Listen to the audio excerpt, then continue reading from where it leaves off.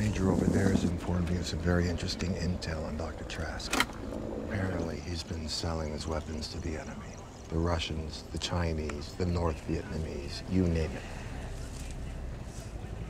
I don't think machines are the answer. I think we're gonna need some of these mutants on our side. Take Trask into custody. Yes, sir.